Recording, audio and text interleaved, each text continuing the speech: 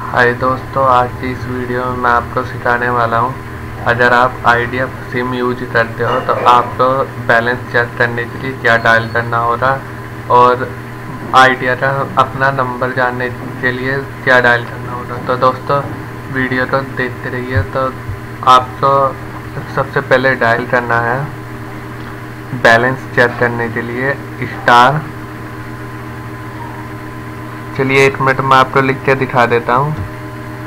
Star one two one hash. एक second दोस्तों। हाँ ये आपको बैलेंस बताएगा ये अगर आप ये नंबर डायल करेंगे कि आपका कितना बैलेंस बाकी है और कितना नहीं है।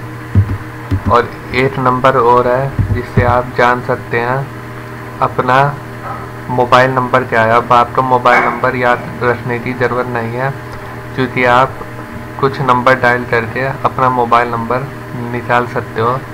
कोई सी सिर्फ़ आइडिया का आइडिया कंपनी में अपना कोई से भी सिम का नंबर निकाल सकते हो। उसे निकालने के लिए आपको डायल करना है star one two one star four star one, star four hash तो दोस्तों, ये नंबर आप डायल करोगे तो आपको आइडिया में पता चल जाएगा आपका मोबाइल नंबर क्या है, आपका मोबाइल नंबर मेन स्क्रीन पर आ जाएगा। अगर वीडियो अच्छी लगी हो तो लाइक करें शेयर करें सब्सक्राइब ज़रूर करें।